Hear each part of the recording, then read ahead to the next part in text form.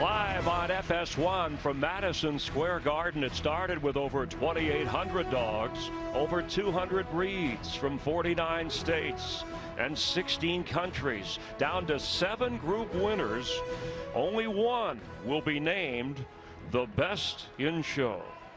Hi, everyone. I'm Greg Gumbel. Happy Valentine's Day to you and yours from all of us at CBS Sports how this race has grown from its early days on the beach. Today, the winner will take home $1.1 million. There's over $8 million in prize money at stake.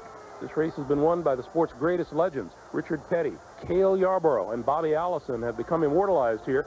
But Daytona is also the place where legends are born. You know, in any form of auto racing, you've got to prepare the car before it goes out on the track. But in Demolition Derby, it's a little bit different. Uh, instead of getting them set up, they're tearing them apart. Every single window has to come out of the car. All the extraneous metal, all the mirrors, everything. As you can see, it, it's a pretty hectic process. Welcome to rollover competition.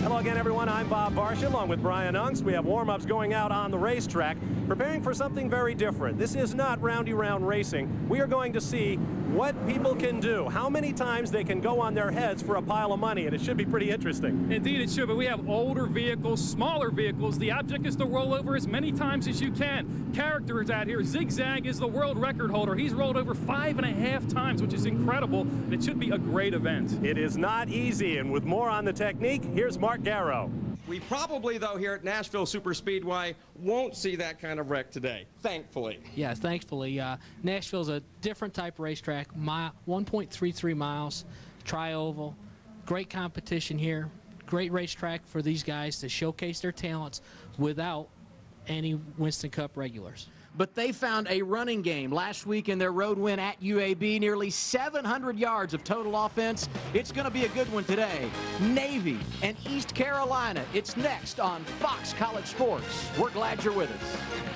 And that is what they're focused on. The famous mustard belt. Can they come home as the champions and walk away with that? So happy 4th of July and the birth of American freedom here at Coney Island. Rich Shea along with me at Surf and Stillwell. This is where everything happens.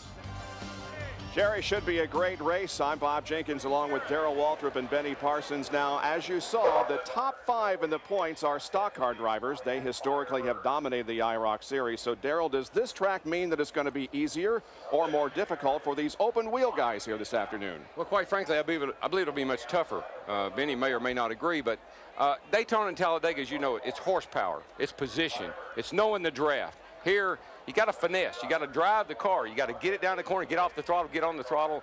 A lot more car control here than we saw at Daytona and Talladega. Prior to today, the most exciting moment in Elton Sawyer's career had to be this Busch Grand National victory. Myrtle Beach, South Carolina last year. Crew goes crazy, big smile on Elton's face. But how could that compare, ladies and gentlemen, with the opportunity today to join our ESPN broadcast team, become one of the guys with the ties, and try to fill the big shoes of the likes of, say, Benny Parsons, for example? Well, Dave, I don't know if I can fill his shoes, but I sure don't want to fill his jacket. Hey, gotcha, Parsons. Let's talk about this series. I'm impressed with the quality of the field that we've gathered here. Oh, it's great. There's 32 championships among 32 trucks. We've got motorcycle champions. We have off-road champions, all types of stock car championships, as well as off-road.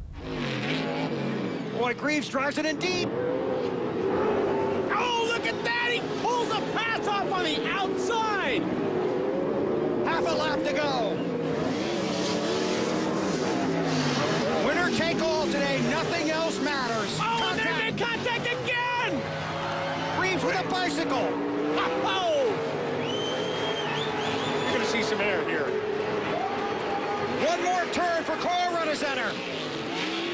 That's what it's all about right there. After racing back from the hospital, after his wife Kelly was involved in a wreck, she's okay. He's coming to the checkers. Carl Renezeder wins.